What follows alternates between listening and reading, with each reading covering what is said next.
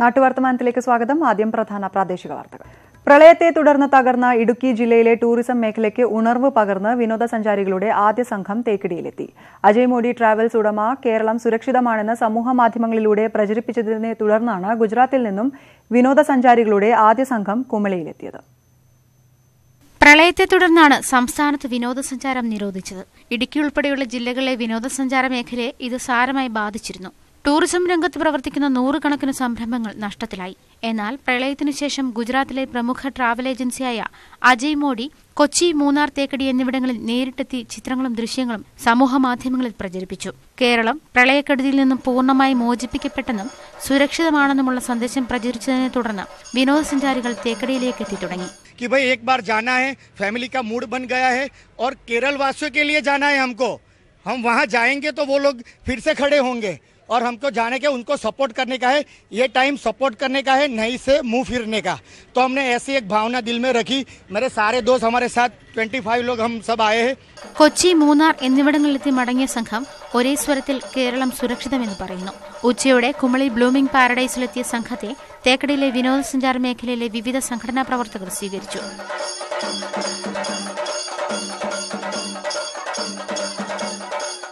News eighteen Kumily പ്രളയത്തിനു ശേഷം കടുത്ത കുടിവെള്ളക്ഷാമം നേരിടുകയാണ് കുട്ടനാട്ടിലെ കാവാലം പഞ്ചായത്ത്. കുടിവെള്ള പ്രശ്നത്തിന് ശാശ്വതമായ പരിഹാരം വേണമെന്ന ആവശ്യം ഇവിടെ വീണ്ടും ശക്തമാവുകയാണ്. കാവാലം എന്ന കുട്ടനാടൻ ഗ്രാമം ശുദ്ധജലത്തിനായുള്ള നെട്ടോട്ടത്തിലാണ്. ഇപ്പോൾ ചെങ്ങനാശ്ശേരിയിൽ നിന്നും വണ്ടികളിലെത്തുന്ന വെള്ളമാണ് നാടിന്റെ ആശ്രയം. അവർ വരുന്ന വഴിക്ക് നോക്കി നിന്ന് നമ്മൾ ആ വെള്ളം അവ ബലമായിട്ട് നമ്മൾ പിടിച്ചുകൊണ്ട് പോവുക. അതിന്റെ പേര് പലപ്പോഴും ഈ വണ്ടിക്കാരും ഈ നാട്ടുകാരുമായിട്ട് തമ്മിൽ പിണങ്ങേണ്ട ഒരു സാഹചര്യമൊക്കെ ഉണ്ടായിട്ടുണ്ട്. പൊതുവേ കുട്ടനാട് അനുഭവിക്കുന്ന ഏറ്റവും വലിയൊരു വിപത്ത് തന്നെയാണ് ഈ കുടിവെള്ളക്ഷാമം എന്ന് പറയുന്നത്. ഇവിടെ നിന്ന് നമുക്ക് അറിയാം പ്രായം ചെന്ന അമ്മച്ചിമാർ വരെ ഒരു തുള്ളി വെള്ളം കിട്ടാതെ ഇവിടെയൊക്കെ ഈ പരിസരത്ത് തന്നെ പെട്ടുകിടന്ന സ്ഥലമൊക്കെ ഉണ്ടായിരുന്നു. പഞ്ചായത്തിൽ ഒരു ജലശുദ്ധീകരണ യൂണിറ്റ് ഉണ്ടെങ്കിലും ജനങ്ങളുടെ ആവശ്യത്തിന് ഇത് ഒട്ടും പര്യാപ്തമല്ല. സാധാരണ കുടിവെള്ളത്തിന് ഭയങ്കര ബുദ്ധിമുട്ടാണ്. പിന്നെ ഞങ്ങൾക്ക് ഈ ഒരു ആറോ പ്ലാന്റ് വന്നത് കാരണം പൊതുവേ ഇത് വന്നതുകൊണ്ട് എല്ലാവർക്കും നല്ല സഹായമാണ്. എന്ന് വെച്ചാൽ ഇഷ്ടം പോലെ വെള്ളം പത്ത് പൈസ പോലും കൊടുക്കാതെ ഇന്നലെ വരെ എല്ലാവർക്കും കൊടുത്തു. നാൽപ്പത്തി മൂവായിരം ലിറ്റർ വെള്ളമാണ് പ്രതിദിനം പഞ്ചായത്ത് പുറത്തുനിന്നും ടാങ്കറിൽ ഇവിടെ എത്തിക്കുന്നത്. പതിനായിരം ലിറ്റർ കൂടി വർദ്ധിപ്പിക്കാനുള്ള ശ്രമവും നടക്കുന്നുണ്ട്. ശുദ്ധമായ കുടിവെള്ളം ഒരു നാടിന്റെ അവകാശമാണ്. ഭരണകൂടത്തെ അത് ഓർമ്മപ്പെടുത്താൻ ഒരു പ്രളയം ആവശ്യവുമില്ല. ഈ നാടിന്റെ കുടിവെള്ള പ്രശ്നം പരിഹരിക്കാനുള്ള ശ്രമം ഇനി ഒരു നിമിഷം പോലും വൈകിക്കൂടാ. ക്യാമറമാൻ സുമേഷ് മോറോയ്ക്കൊപ്പം കാവാലത്ത് നിന്നും മനു ഭരത് ന്യൂസ് എയ്റ്റീൻ. കുട്ടനാട് കൈനഗിരി പരുത്തുവിള പാടശേഖരത്തിലെ ബണ്ട് പൊട്ടിയപ്പോൾ അഞ്ച് വീടുകളാണ് തകർന്നത്. കർഷക തൊഴിലാളികളായ ഇവരുടെ ജീവിതവും ഇതോടെ വെള്ളത്തിലായി.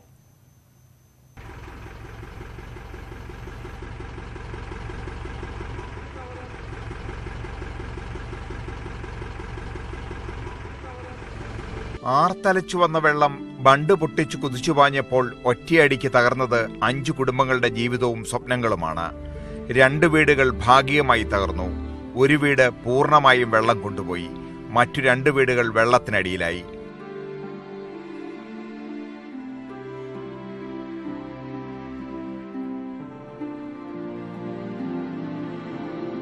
ഇനി അങ്ങോട്ട് എന്ന് എനിക്കറിയില്ല. ഇപ്പോൾ എന്റെ കുടുംബം ദുരിതാശ്വാസ ക്യാമ്പിലാണുള്ളത്. ഇനി അവരെയും വിളിച്ചുകൊണ്ട് ഞാൻ എങ്ങോട്ടാണ് പോകേണ്ടതെന്ന് പോലും എനിക്കറിയില്ല. കാരണം എന്റെ എല്ലാം തകർന്ന് എന്റെ സ്വപ്നങ്ങളെല്ലാം തകർന്ന് എന്റെ വീട് പൂർണമായും തകർന്ന ഒരു അവസ്ഥ എനിക്കാണ് രണ്ട് കണ്ണും നഷ്ടപ്പെട്ടു പോയിട്ട് കുറേ വർഷങ്ങളായി. പത്ത് പത്ത് ഇരു പത്ത് പതിമൂന്ന് വർഷങ്ങളായി. എന്റെ കുഞ്ഞുങ്ങളുടെ ഇതിലാണ് ഞാൻ കഴിഞ്ഞുകൊണ്ടിരിക്കുന്നത്. ഇനി എനിക്ക് ഇതൊക്കെ വരെ വെക്കാൻ എനിക്ക് സാധിക്കും ഒരു യാതൊരു നിവൃത്തിയും എനിക്ക് ഉണ്ടാകത്തില്ല പ്രളയത്തിന് മുമ്പേ ആരംഭിച്ച ഈ ദുരിതം ഇപ്പോൾ രണ്ടു മാസം പിന്നിടുന്നു. ഓരോ മടവീഴുമ്പോഴും താൽക്കാലികമായി ബണ്ട് ബലപ്പെടുത്തി വെള്ളം വറ്റിക്കുന്നു. സ്വാമിനാഥൻ റിപ്പോർട്ട് അവഗണിച്ച് അശാസ്ത്രീയമായി നിർമ്മിച്ച ബണ്ടുകളാണ് കുട്ടനാട്ടുകാരുടെ ജീവന് നിരന്തരം ഭീഷണിയാകുന്നത്. ഒരു നാല് പ്രാവശ്യം ഇപ്പം മടവീണ പാടമാണ് ഇത്. ഈ ആർവങ്കെന്ന് പറഞ്ഞ്. ഇന്ന് വരെ ആ ഒരു വീട് വരെ ഒലിച്ചു പോയതാണ്. അങ്ങാപ്പുറത്ത് തൊട്ട അയലോക്കത്ത് കാണുന്ന ആ വീട്. പക്ഷേ ഇന്ന് വരെ ഒരു ബണ്ടിന്റെ പണിയും നടക്കുന്നില്ല. സ്വാമിനാഥന്റെ വർക്ക് ഇങ്ങനെ വരും വരുമെന്നും പറഞ്ഞ് ഞങ്ങൾ കാത്തിരിക്കുന്നതല്ലാതെ. ഇപ്പം തന്നെ ഈ വർക്ക് മൂന്ന് മീറ്റർ വീതി ബണ്ട് പിടിക്കേണ്ടതിന് മുക്കാൽ മീറ്ററാണ് പിടിച്ചിരിക്കുന്നത്. ഈ കൽക്കെട്ടിന് തീരെ ഉയരം കുറഞ്ഞ പണിതിരിക്കുന്നത് ഇതൊക്കെ വന്നിരുന്ന ഞങ്ങൾ ഈ നാട്ടിൽ നിന്ന് ഈ ഓടിപ്പോകേണ്ട അവസ്ഥ ഉണ്ടാകത്തില്ലായിരുന്നു. Cameraman Shijo M ജെയിംസിനൊപ്പം N Sreenath news eighteen Kochi. കാലവർഷക്കെടുതിയിൽ തകർന്ന പെരിയവര പാലം പുനർനിർമ്മിക്കണമെന്ന ആവശ്യം ശക്തം. പാലത്തിലൂടെ കാൽനടയാത്ര നിരോധിച്ചിരിക്കുകയാണെങ്കിലും വിദ്യാർത്ഥികൾ ഉൾപ്പെടെയുള്ളവർ യാത്ര ചെയ്യുന്നത് ഇതുവഴിയാണ്. കാലവർഷക്കെടുതിയിൽ തകർന്ന പെരിയവര പാലത്തിലൂടെയുള്ള യാത്ര ദിനംതോറും അപകടകരമായി മാറുകയാണ്. കാൽനടയാത്ര നിരോധിച്ചിരിക്കുന്നെങ്കിലും മറ്റു മാർഗമില്ലാത്തതിനാൽ ഇതുവഴി തന്നെയാണ് നാട്ടുകാർക്ക് നടപ്പ്. പാലത്തിലൂടെ യാത്ര ചെയ്യുന്ന റവന്യൂ വകുപ്പ് മുന്നറിയിപ്പ് നൽകിയിട്ടുണ്ടെങ്കിലും മൂന്നാറിലേക്കും സ്കൂളുകളിലേക്കും എത്താൻ തകർന്ന പാലം തന്നെ ആശ്രയം நாங்கள் வந்து பெரியவார பழையகாட்டி யூஸ்லேருந்து வரோம் நாங்கள் நடந்து தான் வரோம் எங்களுக்கு வந்து பாலம் போச்சு மெயினான பாலம் போச்சு எங்கள் ரோடு போச்சு அதனால டெய்லி வண்டி செலவு முப்பது ரூபா ஐம்பது ரூபா ஆகுது அதனால எங்களுக்கு பா- வண்டி செலவுக்கு காசு கிடையாது வீட்டில் காசு இல்லை அதனால எங்களுக்கு வந்து பாலத்தை ரெடி பண்ணி கொடுங்க எங்கள் எஸ்டேட் ரோடை பார்க்க கலெக்டர் வரல யாருமே வரல அதனால எங்களுக்கு இந்த பாலம் கண்டிப்பாக ரெடியாகி கொடுக்கணும் எங்களுக்கு வண்டி செலவு ரொம்ப ஆகுது எங்களுக்கு வர நான் பயமாக இருக்குது எல்லா பிள்ளைகளும் பயப்படுறாங்க சின்ன பிள்ளைங்களும் அதனால எங்களுக்கு வந்து பாலம் வந்து ரெடி பண்ணி கொடுங்க எங்களுக்கு வந்து மெயினான பாலம் இடிஞ்சிருச்சு அங்கே ரோடு இடிஞ்சிருச்சு எங்களுக்கு சீக்கிரமாக சரியாக்குறபடி கேட்டுக்கொள்கிறோம் എസ്റ്റേറ്റുകളിൽ നിന്നും ഓട്ടോയിലും ജീപ്പിലും പാലത്തിന് അക്കരെ എത്താൻ അവിടെ നിന്നും മറ്റു വാഹന സ്കൂളിലും എത്താനും നല്ലൊരു തുക തന്നെ ചിലവാകും பிள்ளைகளை வந்து இந்த நிலவில் எல்லாம் வரணும் அப்படின்னு சொல்லி சொன்னால் நைமக்காட்டில் இருந்து வர்ற பிள்ளைகளுக்கெல்லாம் எழுபது ரூபாய்க்கு மேலே எல்லாம் செலவாகுது. அதே போல் பெரியவார ஆனமுடையாடு சென்றாடு பெரியவார லோயர்லேருந்து வர்ற பிள்ளைங்களுக்கு அறுபது ரூபாய்க்கு மேலே செலவாகுது. தன்னுடைய பெற்றோர்கள் வந்து ஏதேனும் பத்து நாள் பதினஞ்சு நாள் பத்து நாளைக்கு வரைக்கும் வேலை இல்லாமல் இருக்கிறதுனால பிள்ளைகளுக்கு வந்து அந்த ஆட்டோக்குள்ள பைசா கொடுக்க முடியாத நிலைமையில தான் இன்னைக்கு பெற்றோர்கள் இருக்கிறாங்க. இதுக்கு ஒரு மாற்று வழி உடனடியாக உண்டாகணும். പാലത്തിന്റെ നിർമ്മാണം എത്രയും വേഗം പൂർത്തിയാക്കണമെന്നാണ് നാട്ടുകാരുടെ ആവശ്യം. പെരിവര പാലത്തു നിന്നും വിദ്യാർത്ഥികൾക്ക് ബസ് സൗകര്യം ഏർപ്പെടുത്തണമെന്നും ആവശ്യമുയരുന്നുണ്ട്. News eighteen Munnar. ഉയരം കുറവായതിനാൽ പ്രളയകാലത്ത് ബോട്ട് വഴിയുള്ള രക്ഷാപ്രവർത്തനത്തിന് തടസ്സമായ പാലം പുതുക്കി പണിയണമെന്നാവശ്യം ആലപ്പുഴ ചങ്ങനാശ്ശേരി കനാലിന് കുറുകെയുള്ള കിടങ്ങറ കുന്നങ്കിരി പാലം ഉയരം കൂട്ടി പുതുക്കി പണിയണമെന്നാണ് ആവശ്യമുയരുന്നത്. ആലപ്പുഴ ചങ്ങനാശ്ശേരി കനാലിന് കുറുകെയുള്ള നിരവധി പാലങ്ങളിൽ ഏറ്റവും ഉയരം കുറഞ്ഞതാണ് കിടങ്ങറ കുന്നങ്കരി പാലം. പ്രളയസമയത്ത് കനാലിൽ ജലനിരപ്പ് ഉയർന്നതോടെ പാലത്തിന്റെ ഉയരക്കുറവ് കാരണം ഇതുവഴി ബോട്ടുകൾക്ക് സഞ്ചരിക്കാൻ കഴിയാത്ത സാഹചര്യമുണ്ടായി. ഇത് രക്ഷാപ്രവർത്തനത്തെയും ബാധിച്ചു. ഈ പാലം പുതിയ പാലം പണിയണം. അല്ലാതെ ഇപ്പോൾ ഒരു നടക്രമം എന്ന് പറഞ്ഞാൽ ഈ പാലത്തിന്റെ ടോപ്പ് തട്ടിക്കറഞ്ഞു കളഞ്ഞുകൊണ്ട് അത് പൊക്കി കോൺക്രീറ്റ് ചെയ്യുന്നു. അത് അശാസ്ത്രീയമായ ഒരു പണിയാണെന്ന് എന്റെ വിശ്വാസം. അതുകൊണ്ട് അത് ഇത് മൊത്തത്തിലെ ഈ പാലം പൊളിച്ചു മാറ്റി ലാൻഡ് അക്വസിഷൻ സർക്കാരിന് ഏറ്റെടുക്കാം. വെള്ളപ്പൊക്കമുണ്ടായപ്പോൾ പുളിങ്കുന്ന് കാവാലം ചമ്പക്കുളം വെളിയനാട് നെടുമുടി കൈനടി മുട്ടാർ എന്നിവിടങ്ങളിൽ നിന്നും ബോട്ടിൽ വന്ന നൂറുകണക്കിന് ആളുകളെ ഇവിടെ ഇറക്കേണ്ടി വന്നു. അല്ലെങ്കിൽ ഇവരെ നേരിട്ട് ചങ്ങനാശ്ശേരിയിലേക്ക് കൊണ്ടുപോകാൻ കഴിയുമായിരുന്നു. അന്ന് ഈ പാലം പൊക്കാഞ്ഞത് കാരണം അങ്ങ് ഈ പാലത്തിന്റെ പടിഞ്ഞാറ് സൈഡിൽ ആളിറക്കിയിട്ട് തിരിച്ച് ഇങ്ങപ്പുറത്ത് ആളിനെ കയറ്റുക. അപ്പം വരുന്ന ബോട്ടിലെ ആളും ഇവിടെ കരയ്ക്ക് വന്നയാളും ഈ രണ്ടും കൂടെ കന്ന് ഇടിയ ഇവിടെ. പോലീസ് ഇല്ലായിരുന്നുവെങ്കിൽ ഇവിടെ ഒരു പത്തഞ്ഞൂറെണ്ണം ചത്തേന്. ഏറ്റവും കുറഞ്ഞത് രണ്ട് മീറ്റർ ഉയരമുണ്ടെങ്കിൽ വെള്ളപ്പൊക്കത്തെ അതിജീവിച്ചുകൊണ്ട് പടിഞ്ഞാറ് നിന്ന് വരുന്ന ബോട്ട് ചങ്ങനാശ്ശേരിക്ക് നേരിട്ട് പോകാനുള്ള സൗകര്യം ഉണ്ടാവും. അപ്പോൾ അത് എത്രയും പെട്ടെന്ന് ഈ ഇത് പൊക്കുക എന്നുള്ളത് ഞങ്ങൾക്ക് ഈ പാലം വേണ്ട. ദൈവത്തെ വിചാരിച്ച് ഈ പാലം അങ്ങ് പൊളിച്ച് മാറ്റാനായിട്ടുള്ള ഇടപാട് ചെയ്യണം.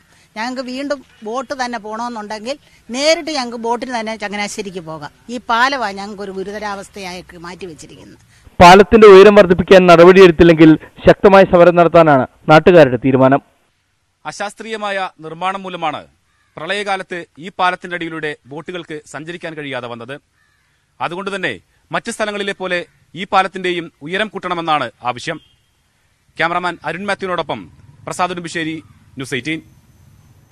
പ്രളയക്കെടുതിക്ക് ശേഷം സ്കൂൾ തുറന്നപ്പോൾ കോഴിക്കോട് കാരശ്ശേരി പഞ്ചായത്തിലെ കാരമൂല ഗവൺമെന്റ് എൽ പി സ്കൂളിൽ കണ്ടത് ദയനീയമായ കാഴ്ചകൾ. പുസ്തകങ്ങളും കമ്പ്യൂട്ടറുകൾക്കും പുറമെ സ്കൂളിന്റെ സംരക്ഷണ ഭിത്തിയും തകർന്നു. പ്രളയക്കെടുതിക്കും ഓണാവധിക്കും ശേഷം സ്കൂളുകൾ തുറന്നപ്പോൾ കാരാമൂല കുമാരനല്ലൂർ സ്കൂളിൽ നിന്നും കണ്ട കാഴ്ച തീർത്തും ദയനീയം. പ്രളയ ദുരിതം ഉള്ളിലൊതുക്കി കുട്ടികൾ സ്കൂളിൽ എത്തിത്തുടങ്ങിയെങ്കിലും സ്കൂളിൽ നഷ്ടം ലക്ഷങ്ങളാണ്. വെള്ളപ്പൊക്കത്തിൽ അഞ്ചടിയോളം ഉയരത്തിൽ സ്കൂളിൽ വെള്ളം കയറിയിരുന്നു. ഇതോടെ സ്കൂളിന്റെ സംരക്ഷണ ഭീതി തകർന്ന് അപകട ഭീഷണിയിലായി. ടോയ്ലറ്റിന്റെ ചുമരിനും കമ്പ്യൂട്ടർ റൂമിന്റെ ചുമരിനും വിള്ളൽ രൂപപ്പെട്ടിട്ടുണ്ട്. പൂർണമായി വളരെയധികം നാശനഷ്ടങ്ങൾ ഈ വർഷം സ്കൂളിൽ സംഭവിച്ചിട്ടുണ്ട്. അപ്പം ലൈബ്രറിയെ സംബന്ധിച്ചിടത്തോളം ആണെങ്കിൽ പത്ത് അറുന്നൂറ് എഴുന്നൂറോളം പുസ്തകങ്ങൾ നഷ്ടപ്പെട്ടു. ഷെൽഫിൽ വെള്ളം കയറി ഷെൽഫ് ഒന്നടക്കം വെള്ളത്തിലായി നിൽക്കുകയായിരുന്നു. ഒരു പത്ത് നാൽപ്പതിനായിരം റുപ്യോളം പുസ്തകങ്ങൾ തന്നെ ആ ലെവലിൽ നഷ്ടപ്പെട്ടിട്ടുണ്ട്. അതുപോലെ തന്നെ ടെക്സ്റ്റ് ബുക്കുകൾ രണ്ടാം വാളിലും ടെക്സ്റ്റ് ബുക്കുകൾ കൊണ്ടുവന്ന് വെച്ചത് അത് കുട്ടികൾക്ക് പരീക്ഷ കഴിഞ്ഞിട്ട് വിതരണം ചെയ്യേണ്ടതായിരുന്നു. ഓണപരീക്ഷ കഴിഞ്ഞതിന് ശേഷം വിതരണം ചെയ്യേണ്ടതായിരുന്നു. പക്ഷേ അത് പൂർണമായി നശിച്ചുപോയി. ലൈബ്രറിയിലും വിവിധ ക്ലാസ് മുറികളിലുമായി സൂക്ഷിച്ചിരുന്ന നൂറുകണക്കിന് പുസ്തകങ്ങളാണ് നശിച്ചത്. വിദ്യാർത്ഥികൾക്ക് വിതരണം ചെയ്യാനായി സ്കൂളിൽ സൂക്ഷിച്ച രണ്ടാം ഘട്ട പാഠപുസ്തകങ്ങൾ മുഴുവൻ വെള്ളം കയറി നശിച്ചിട്ടുണ്ട്. ഫർണിച്ചറുകളും നാല് കമ്പ്യൂട്ടറുകളും വെള്ളപ്പൊക്കത്തിൽ നശിച്ചു. വെള്ളം കയറി ഉപയോഗശൂന്യമായ കിണറും സ്കൂൾ പരിസരവും കഴിഞ്ഞ ദിവസം രക്ഷിതാക്കളും അധ്യാപകരും നാട്ടുകാരും ചേർന്ന് ശുചീകരിച്ചു. നാനൂറിലധികം കുട്ടികളാണ് പ്രീ പ്രൈമറിയിലും എൽ പി വിഭാഗത്തിലുമായി ഇവിടെ പഠിക്കുന്നത്. സ്കൂളിൽ ദിവസങ്ങളോളം വെള്ളം കയറിയ അവസ്ഥയിൽ കെട്ടിടത്തിന്റെ സുരക്ഷിതത്വത്തിന്റെ കാര്യത്തിൽ രക്ഷിതാക്കളും അധ്യാപകരും ആശങ്കയിലാണ്. News Eighteen Mukkam. C S D S Rajakkad panchayat കമ്മിറ്റിയുടെ നേതൃത്വത്തിൽ രാജാക്കാട് സാമൂഹ്യ ആരോഗ്യ കേന്ദ്രത്തിൽ ശുചീകരണ പ്രവർത്തനങ്ങൾ നടത്തി. സി എസ് ഡി എസ് സംസ്ഥാനത്തൊട്ടാകെ നടത്തുന്ന ശുചീകരണ പ്രവർത്തനങ്ങളുടെ ഭാഗമായാണ് ആശുപത്രിയിൽ ശുചീകരണ പ്രവർത്തനം നടത്തിയത്. പ്രളയക്കെടുതിക്ക് ശേഷമുള്ള ശുചീകരണ പ്രവർത്തനങ്ങളിൽ ചേരമർ സാമ്പവ ഡെവലപ്മെന്റ് സൊസൈറ്റി സജീവമാണ്. സംസ്ഥാനത്തൊട്ടാകെ സി എസ് ഡി എസിന്റെ നേതൃത്വത്തിൽ ശുചീകരണ പ്രവർത്തനങ്ങൾ സംഘടിപ്പിക്കുന്നുണ്ട്. ഇതിന്റെ ഭാഗമായിട്ടാണ് രാജാക്കാട് പഞ്ചായത്ത് കമ്മിറ്റിയുടെ നേതൃത്വത്തിൽ സാമൂഹിക ആരോഗ്യ കേന്ദ്രത്തിൽ ശുചീകരണ പ്രവർത്തനങ്ങൾ നടത്തിയത്.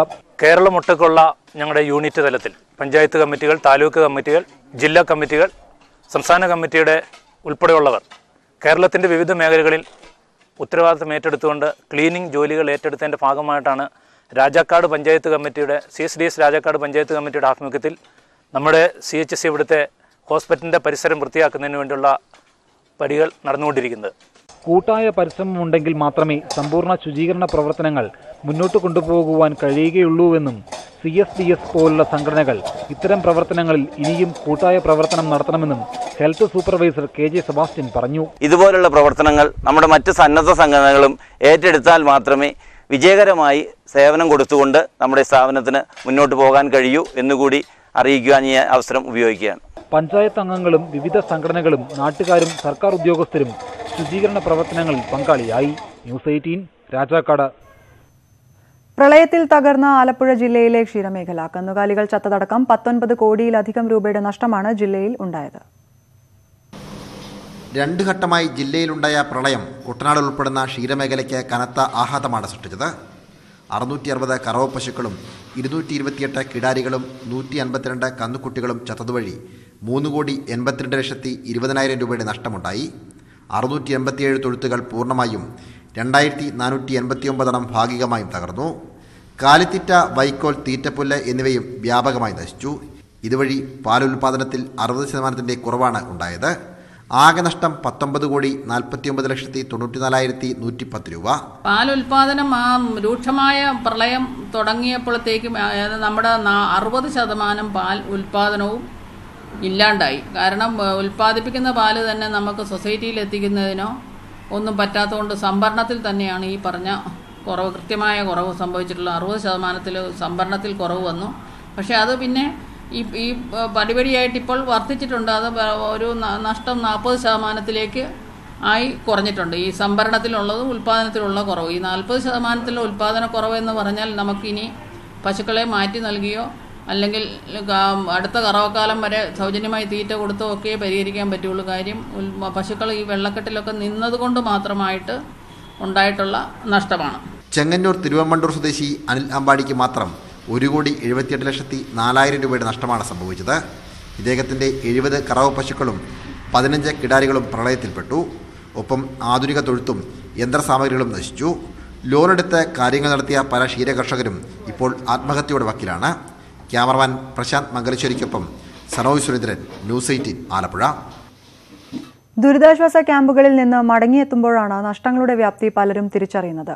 ഉപജീവന മാർഗവും വീടും ഒരുമിച്ച് നഷ്ടമായി പെരുവഴിയിലാണ് ചാലക്കുടിയിലെ രണ്ടമ്മമാർ.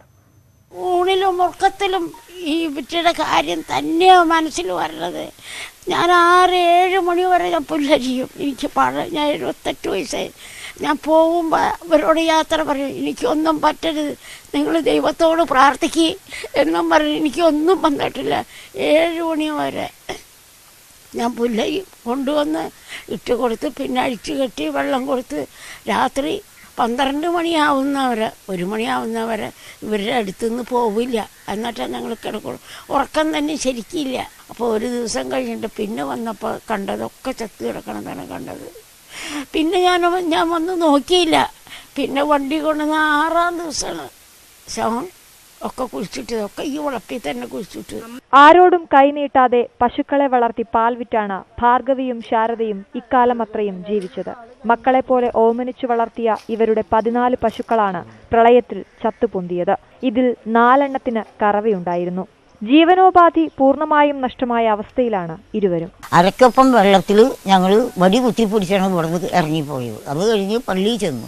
പള്ളിയിൽ ചെന്ന് കഴിഞ്ഞപ്പോൾ ഞങ്ങൾക്ക് ഒമ്പത് ദിവസത്തെ ക്യാമ്പ് ഉണ്ടായി. ആ ക്യാമ്പ് കഴിഞ്ഞപ്പോൾ പിന്നെ നമ്മൾ പോരണ്ടേ?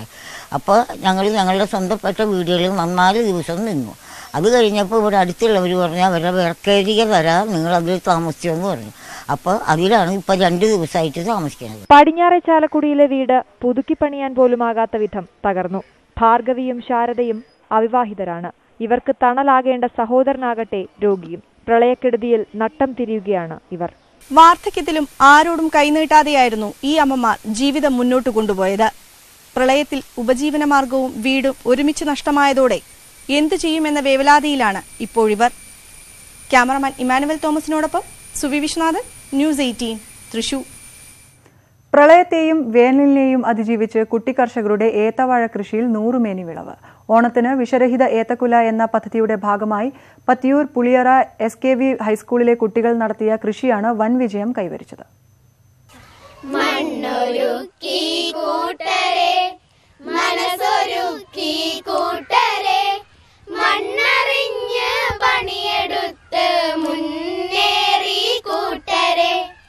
സ്കൂളിൽ തരിശായി കിടന്ന അൻപത് സെന്റ് സ്ഥലത്താണ് സ്കൂൾ ഹരിത ക്ലബിന്റെ നേതൃത്വത്തിൽ കൃഷി ചെയ്തത്. ഓണം ലക്ഷ്യമിട്ട ആദ്യഘട്ടത്തിൽ മുപ്പതും രണ്ടാം ഘട്ടമായി നൂറ്റി ഇരുപതോളം വാഴകളുമാണ് കൃഷി ചെയ്തത്. ഒന്നാം ഘട്ട കൃഷിയുടെ വിളവെടുപ്പാണ് ഇപ്പോൾ നടത്തിയത്. പഠനം കേവലം പാഠപുസ്തകങ്ങളിലും ക്ലാസ് മുറികളിലും ഒതുക്കാതെ മണ്ണിലേക്കിറങ്ങി കൃഷി ജീവിതത്തിന്റെ ഭാഗമാക്കി മാറ്റാൻ കുട്ടികളെ പ്രോത്സാഹിപ്പിക്കുക എന്ന ഉദ്ദേശത്തോടെയാണ് കൃഷി തുടങ്ങിയതെന്ന് സ്കൂൾ മാനേജർ വ്യക്തമാക്കി.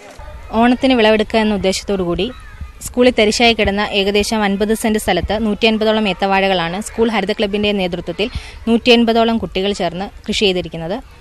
അതിൽ ആദ്യഘട്ടമായി നട്ട മുപ്പതോളം വാഴകളിൽ നിന്നാണ് ഇപ്പോൾ വിളവെടുത്തിരിക്കുന്നത്. നൂറ് ശതമാനം കിട്ടിയതിൽ ഞങ്ങൾക്ക് അങ്ങേറ്റത്തെ സന്തോഷമുണ്ട്. പാഠ്യപദ്ധതി എന്ന് പറയുന്നത് കേവലം പാഠപുസ്തകങ്ങളിൽ ഒതുങ്ങുന്നതല്ല. മറിച്ച് അവർ ജീവിക്കുന്ന ചുറ്റുപാടുകളിലും ജീവിക്കുന്ന മണ്ണിലും കൂടിയുള്ളതാണ് എന്ന തിരിച്ചറിവിൽ നിന്ന് നമ്മുടെ നഷ്ടപ്പെട്ടു പോയ കാർഷിക പാരമ്പര്യത്തെ വീണ്ടെടുത്ത് കുട്ടികൾ മണ്ണിനെ സ്നേഹിക്കുന്ന മണ്ണിനെ അറിയുന്ന ഒരു തലമുറയായി വളർന്നു വരണം എന്നുള്ള ഉദ്ദേശം കൂടി ഞങ്ങൾക്ക് ഇതിന്റെ പിന്നിലുണ്ട്. കൃഷിയുടെ ആദ്യഘട്ട വിളവെടുപ്പ് U Prathibha M L A നിർവഹിച്ചു. ഒരാഴ്ച മുമ്പ് വരെ ഇവിടുത്തെ ഒന്നും അറ്റ്മോസ്ഫിയർ ഇങ്ങനെയായിരുന്നില്ല. എന്നാൽ അതിനെയൊക്കെ അതിജീവിച്ചുകൊണ്ട് ഒരു നന്മയുടെ സന്ദേശമായി എല്ലാ കലാലയങ്ങൾക്കും എല്ലാ വിദ്യാഭ്യാസ സ്ഥാപനങ്ങൾക്കും ഒരു സന്ദേശമായി ഇന്ന് പുളിയറയിലെ ഈ ഒരു നീക്കം മാറിയിരിക്കുകയാണ്. ഇനി അടുത്തതായിട്ട് കുട്ടികൾ ഇവിടെ പച്ചക്കറി തൈകൾ കുറേയധികം കായ്ച്ചു നിൽപ്പുണ്ട് ഒരു ശ്രമമാണ്. മണ്ണ് പോലും അത്ര അനുയോജ്യമായിരുന്നില്ല ഞങ്ങളിത് ചെയ്യുന്ന സമയത്ത്. അനുയോജ്യമല്ലാതിരുന്ന ഒരു മണ്ണിനെയാണ് അവർ പാകപ്പെടുത്തിയത്. വെള്ളത്തിന് ഷോർട്ടേജ് ആയിരുന്നു. ഒരു വരൾച്ചയാണ് ആദ്യം ഇത് നേരിട്ടത്. അതിനുശേഷം പ്രതീക്ഷിക്കാൻ പോലും നമ്മുടെ പ്രതീക്ഷ നിൽക്കുന്നതിന്റെ അപ്പുറത്തേക്കുള്ള വലിയ പ്രളയത്തെയും രണ്ടിനെ അതിജീവിച്ചുകൊണ്ട് ഈ കുഞ്ഞുങ്ങളുടെ നന്മയാണ് ഇന്ന് ഈ ഏത്തവാഴ കൊലയുടെ രൂപത്തിൽ ഇവിടെ വന്നിരിക്കുന്നത്. ഇത് കേരളത്തിലെ എല്ലാ വിദ്യാഭ്യാസ സ്ഥാപനങ്ങൾക്കും മാതൃകയാവട്ടെ എന്ന് ആഗ്രഹിക്കുന്നു. കൃഷിക്ക് അധ്യാപകരുടെയും പി ടി എയുടെയും പൂർണ പിന്തുണയുണ്ട്. പഠന സമയം നഷ്ടപ്പെടുത്താതെ ഇടവേളകളിലും വൈകുന്നേരങ്ങളിലും അവധി ദിവസങ്ങളിലുമാണ് കുട്ടികൾ കൃഷി പരിപാലിക്കുന്നത്. ഏത്തവാഴ കൂടാതെ മറ്റിനത്തിൽപ്പെട്ട മുപ്പതോളം വാഴകളും വിവിധയിനം പച്ചക്കറികളും സ്കൂളിൽ കൃഷി ചെയ്യുന്നുണ്ട്. പുതിയ തലമുറ കൃഷിയിൽ നിന്നും അകന്നുപോകുന്നു എന്നുള്ള പരാതിക്കിടയിലാണ് കുട്ടി കർഷകരുടെ ഈ നേട്ടം. News eighteen Kayamkulam. എറണാകുളം ജില്ലയിൽ ദുരിതാശ്വാസ കിറ്റുകളുടെ വിതരണം പൂർത്തിയായി. പ്രളയബാധിതർക്ക് സർക്കാർ പ്രഖ്യാപിച്ച അടിയന്തര ധനസഹായം രണ്ട് ദിവസത്തിനുള്ളിൽ കൊടുത്തു തീർക്കുമെന്നും അധികൃതർ വ്യക്തമാക്കി. Ernakulam collectorate community hall K B P S എന്നിവിടങ്ങളിലെ ദുരിതാശ്വാസ കിറ്റുകളുടെ വിതരണം പൂർത്തിയായി. സന്നദ്ധ പ്രവർത്തകർക്കും ജീവനക്കാർക്കും ജില്ലാ കളക്ടർ മുഹമ്മദ് വൈ സഫറുള്ള നന്ദി രേഖപ്പെടുത്തി. നമ്മുടെ ജില്ലയിലെ ആൾക്കാരും മറ്റു ജില്ല ആൾക്കാർക്കും നമുക്ക് പൂർണമായി അവരുടെ ഒരു ദുഃഖത്തിൽ നമുക്ക് ഒരു ഹെൽപ്പ് ചെയ്യാൻ പറ്റില്ലെങ്കിലും ഒരു ചെറിയ രീതിയിൽ ഒരു ഹെൽപ്പ് ചെയ്യാൻ സാധിച്ചു. ഇതിൽ കുറേ സംഘടനകൾ അവർ ഒരു ഫേസ്ലെസ് ഓർഗനൈസേഷനാണ് വന്നു ഫേസ്ലെസ് നെയിംലെസ് ആയി വന്ന് പത്ത് പേര് വന്ന് രണ്ട് മൂന്ന് ദിവസം ജോലി ചെയ്തു പോവും. ഒരു ഏഹ്, എനിക്ക് എങ്ങനെ മ- നന്ദി പറയണമെന്ന് അറിയില്ല. വരുന്ന മാസങ്ങളും വരുന്ന ദിവസങ്ങളും നമ്മൾ ഈ റീഹാബിലിറ്റേഷൻ പാക്കേജിൽ എല്ലാവരും ഒരുമിച്ചിരിക്കണം അപ്പോഴാണ് നമുക്ക് ഒരു ലോങ് ടേമിൽ ഒരു സിക്സ് മന്ത്സിൽ നമ്മൾ നേരത്തെ ഇരുന്നതേക്കാൾ ഒരു ബെറ്ററായി ഒരു സിറ്റുവേഷൻ ആയിരിക്കും എന്നാണ് തോന്നുന്നത്. ഒന്നുകൂടെ എല്ലാവർക്കും ഞാൻ നന്ദി പറയുന്നു. താങ്ക് യു വെരി മച്ച് പ്രളയ ദുരിതബാധിതർക്ക് സർക്കാർ പ്രഖ്യാപിച്ച അടിയന്തര ധനസഹായമായ പതിനായിരം രൂപ ജില്ലയിൽ എഴുപത്തിയാറായിരത്തി മുന്നൂറ്റി പതിനഞ്ച് കുടുംബങ്ങളുടെ ബാങ്ക് അക്കൗണ്ടുകളിലേക്ക് കൈമാറാനുള്ള നടപടികൾ പൂർത്തിയായി. പ്രളയബാധിതരായി കണക്കാക്കിയിരുന്ന മുഴുവൻ പേരുടെയും വിവരശേഖരണം പൂർത്തിയായിട്ടുണ്ട്.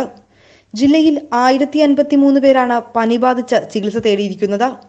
പതിനാല് പേർക്ക് എലിപ്പനിയും ആറ് പേർക്ക് ഡെങ്കിപ്പനിയും ഉള്ളതായും സംശയമുണ്ട്. News eighteen Kochi. എലിപ്പനിക്കെതിരെ അതീവ ജാഗ്രതയുമായി കോതമംഗലം താലൂക്ക് ആശുപത്രി. ആശുപത്രി അധികൃതർ ശുചീകരണ പ്രവർത്തനങ്ങൾക്കും പ്രതിരോധ പ്രവർത്തനങ്ങൾക്കും നേതൃത്വം നൽകി വരുന്നു. കോതമംഗലം താലൂക്കിൽ രണ്ടു പേർക്ക് എലിപ്പനി സ്ഥിരീകരിച്ചു. ഇന്നലെ മാത്രം ഇരുപത്തിയാറ് പേരാണ് ജില്ലയിലെ വിവിധ ആശുപത്രികളിൽ എലിപ്പനി രോഗലക്ഷണങ്ങളോടെ ചികിത്സ തേടിയത്. വിശദമായ പരിശോധനാ ഫലം വന്നാൽ മാത്രമേ ഇവർക്ക് എലിപ്പനിയാണോ എന്ന് സ്ഥിരീകരിക്കാൻ കഴിയൂ എന്നാണ് ആരോഗ്യവകുപ്പ് അറിയിച്ചത്. കോതമംഗലം താലൂക്കിൽ രണ്ട് കേസുകളാണ് റിപ്പോർട്ട് ചെയ്തിട്ടുള്ളത്. കോതമംഗലം താലൂക്ക് ആശുപത്രിയുടെ നേതൃത്വത്തിൽ യുദ്ധകാല അടിസ്ഥാനത്തിലുള്ള പ്രവർത്തനങ്ങളാണ് നടത്തിവരുന്നത് പ്രതിരോധ പ്രവർത്തനങ്ങളെല്ലാം വളരെ ഭംഗിയായ രീതിയിൽ ചിട്ടയായ രീതിയിലും നമ്മൾ നടത്തിക്കൊണ്ടിരിക്കുകയാണ്. ക്ലോറിനേഷനും അതുപോലെ തന്നെ വീട് വീടാന്തരം ക്ലോ ബ്ലീച്ചിങ് പൗഡറും ക്ലോറിൻ സൊല്യൂഷനും ഉപയോഗിച്ചുള്ള ക്ലീനിങ്ങും മറ്റ് പ്രതിരോധ പ്രവർത്തനങ്ങളും മാലിന്യ നിർമ്മാർജനവും എല്ലാം നമ്മൾ നടത്തിക്കൊണ്ടിരിക്കുകയാണ്. പ്രളയബാധിത മേഖലകളിൽ താലൂക്ക് ആശുപത്രിയുടെ ആഭിമുഖ്യത്തിൽ ബോധവൽക്കരണ ക്യാമ്പ് നടത്തുന്നുണ്ട്. വെള്ളപ്പൊക്കമുണ്ടായ മേഖലകളിൽ ശുചീകരണ പ്രവർത്തനങ്ങൾ എങ്ങനെ നടത്തണമെന്ന മാർഗരേഖയും അധികൃതർ നൽകുന്നുണ്ട്. ഇതിൽ പ്രധാനമായും നമ്മൾ ഊന്നൽ നൽകുന്നത് എലിപ്പിന് തടയാനുള്ള പ്രൊഫൈൽ ആക്സസിന് വേണ്ടിയാണ്. ഡോക്സിസൈക്കിളും കൊടുത്ത് എലിപ്പനി വരാതിരിക്കാനുള്ള ഒരു ഇതിലേക്കാണ് നമ്മൾ മെയിനായിട്ട് വിരൽ ചൂണ്ടുന്നത്. അത് നല്ല രീതിയിൽ തന്നെ നടന്നുകൊണ്ടിരിക്കുകയാണ്. എല്ലാവരും ഡോക്സി സ്വീകരിക്കുന്നുണ്ട്. ആശാ വർക്കർ അങ്കണവാടി ടീച്ചർമാർ കുടുംബശ്രീ മറ്റ് സന്നദ്ധ സംഘടന വോളണ്ടിയേഴ്സ് എന്നിവരുടെ സഹായത്തോടെ കോതമംഗലം താലൂക്കിലെ വിവിധ പ്രദേശങ്ങളിൽ സൂപ്പർ ക്ലോറിനേഷൻ നടത്തുന്നുണ്ട്. മുനിസിപ്പാലിറ്റി മേഖലയിൽ വെള്ളപ്പൊക്കമുണ്ടായ പ്രദേശങ്ങളിൽ medical camp നടത്തിവരുന്നു. News eighteen Kothamangalam. Mathrubhumi പത്രത്തിന്റെ കണ്ണൂർ ന്യൂസ് എഡിറ്റർ വിനോദ് ചന്ദ്രന്റെ വീട്ടിൽ മോഷണം. താഴെ ചൊവ്വയിലുള്ള വീട്ടിൽ അർദ്ധരാത്രിക്ക് ശേഷമാണ് മോഷണം നടന്നത്. ഇരുപത്തിയഞ്ച് പവനും പണവും എം കാർഡും കവർന്നു. വിനോദ് ചന്ദ്രനെയും ഭാര്യയെയും മർദ്ദിച്ച ശേഷമാണ് കവർച്ച. പരിക്കേറ്റ ഇരുവരെയും കണ്ണൂർ എ കെ ജി ആശുപത്രിയിൽ പ്രവേശിപ്പിച്ചു.